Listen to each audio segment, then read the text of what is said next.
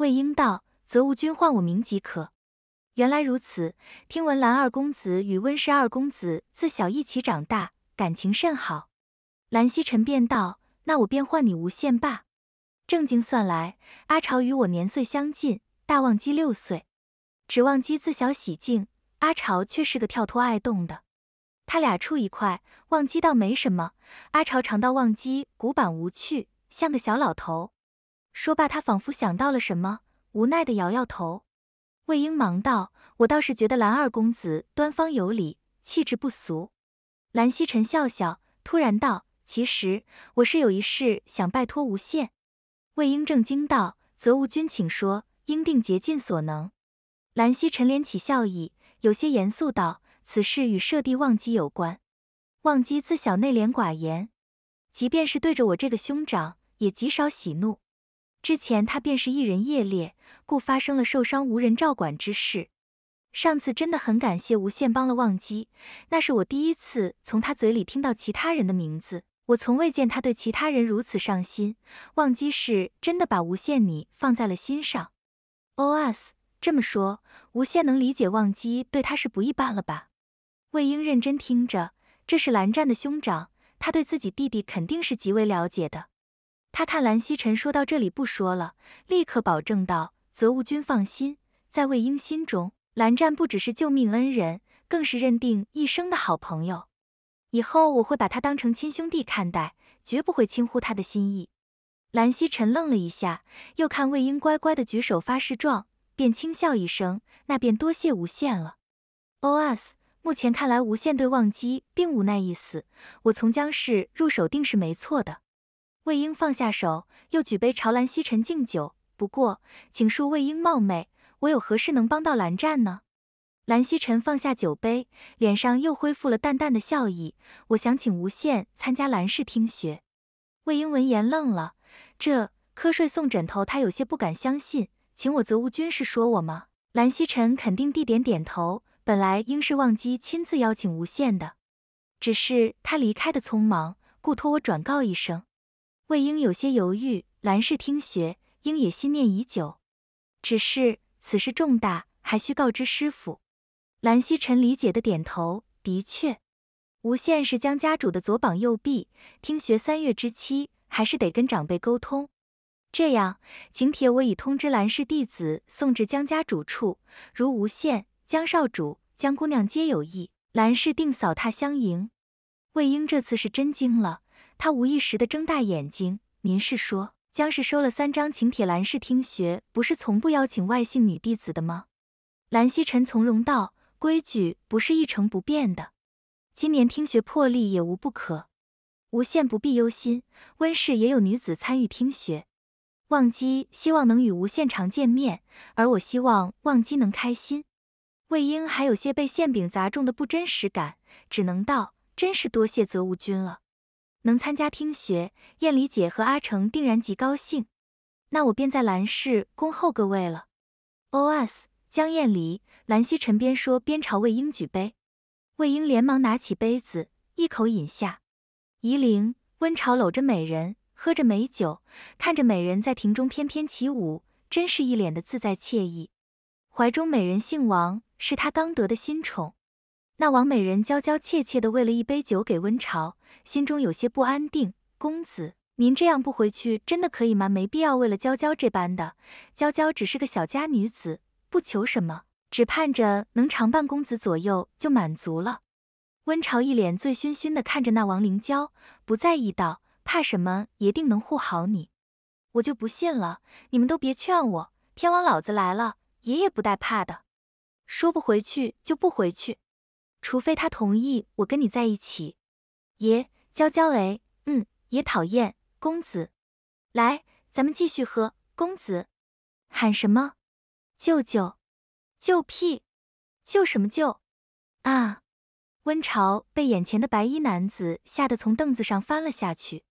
蓝湛面无表情看着温潮，手忙脚乱坐起来，一脸谄媚的对他笑：“蓝蓝小湛。”你怎么在这？刚说完，就看到蓝湛背后的美人们还在跳着舞，席间众人仍是醉生梦死状，有的都搂在一块打波了，急忙喊道：“快快快，都给我下去，别处在这碍眼。一通忙乱后，庭上只剩下温潮、蓝湛、温竹流和王灵娇。温潮正襟危坐，一脸雅正的问坐在他对面的蓝湛：“可小小外甥，你怎么跑这山头头里来了？叶列娜，咱们真有缘，哈哈哈！”蓝湛就那样静静看着温潮，直到他尴尬的收住笑，他才礼貌性的扫了一眼那王灵娇，直接对温潮道：“外祖来信，说舅舅您去王家送礼，礼送完了人也没了，王家追到了不夜天城去。”外祖知您孝顺，不会带人回去，免得把他老人家气死，但又担心您离家出走会饿死，所以与叔父说接您到兰氏住一段时间，顺便参加听学陶冶一下情操。啧，兰小站，你真是越大越不可爱。明明奶彪还在，可那啥，我也想大外甥西沉了。既然你都这么盛情邀请了，我总不好不给你面子。这样，咱们先在这里休息一晚。我们明天就出发，如何？温潮看着蓝湛冰块脸就发怵，只能跟他好商好量着来。要是换成蓝曦臣在这里，三个他都不带怕的。谁还不是小霸王来着？哎，怎么偏偏是蓝湛这小古板呢？虽然他俩都是家中老来子，可这待遇真不能对比。不是，是不能跟蓝湛对比。只要蓝湛在，他在他老父亲那里再也不是可爱的小潮潮，而是讨人厌的小兔崽子了。蓝湛这点面子还是给的，点头一句可，便起身下楼了，全程表情不变。王灵娇不识的那贵公子是谁，只觉得甚是俊秀灵气。看蓝湛下楼离去，便试探着撒娇问公子：“那是哪家公子儿？怎的对您如此生冷？爷毕生宿敌，哎。”命中克星，温潮摇头晃脑的解释。王灵娇半懂不懂，那这到底是宿敌还是克星？他笑着说：“爷是温氏公子，一顶一的英雄，那小公子只是个生瓜蛋子，看着硬气是好摆弄。”哎呀，温潮一把把他挥倒在地：“你是个什么东西，也配提我家？小爷在这里警告你，少在爷面前玩那些小把戏，收好那些小心思，不然从哪儿来回哪儿去。”王灵娇也来不及顾身上的疼痛，连忙拖抱住欲要离去的温潮，慌慌张张的解释：“爷，公子，娇娇错了，以后再不敢了，求爷怜惜一次。娇娇眼界小，没见过世面，以后定会好好侍奉爷，不会再胡言乱语了。记住你的话，这几天好好缝一缝自己的嘴，免得以后带出去给爷招祸。”温竹流这人，好好看住他，别让他到我家忘机面前污他的眼。是，温竹流恭敬应道。看着地上哭得满脸是泪的王灵娇，心中暗暗摇头。又是一个看不清自己本分的女子，不知还有没有再见的一天。韩氏，蓝曦臣睁开眼对门外道：“阿朝到了，为何不进来？”温朝推开门。大摇大摆的拖泥带水走进来，两边转悠一圈，嘴里不冷不热道：“哟，大外甥，好久不见，你叫我回来，可别真要我参加听学吧？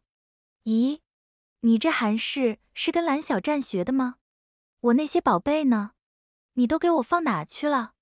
蓝曦臣轻笑，自然是去他们该去的地方。他看着温潮，故意把鞋底污泥刮在毯子上，心中无语，不气不气。想想他这些年被外祖扣去的零花钱，够你暗爽的了。蓝曦臣直视着温潮的小圆脸，问：“今是上钩了吗？”温潮像只战胜的斗鸡一般，微微仰头道：“我办事你放心，金光善很快就会上门找蓝老先生了。”蓝曦臣满意的点头一笑：“阿晴、阿宁，什么时候到你？既然不参加听学，那就尽早离开云深。则。”用过就想扔了没门儿，我肯定得见见我家旺基朝思暮想了好几年的小媳妇才行。自从知道兰家小古板居然暗搓搓有了心上人，温潮可是抓耳挠腮惦记了好久。蓝曦臣无奈的摇摇头，你要是把人给吓跑了，看旺基不跟你急。温潮撇撇嘴，我就给他把把关。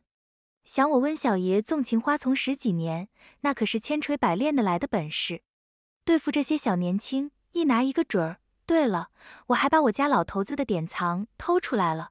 阿晴、阿宁会带过来，记得转交给我小外甥，他肯定用得上。蓝曦臣 OS：难怪躲在夷陵不敢回不夜天了。温朝离开前又道：“西尘呐，这次小舅舅就不计较你算计我的事儿了。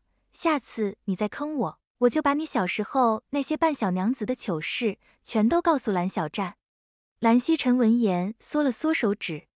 温朝得意一笑，拍拍屁股走人，只留下一句：“我先走了，小爷我要去继续潇洒。小鸟留在你这了，等你好消息。”蓝曦臣看着空无一人的庭院，良久叹了一句。忘机貌似还不知道他的曲谱集被改成了春宫册。近年为了修炼，他甚少去进书室了。明日让他去整理一下藏书好了。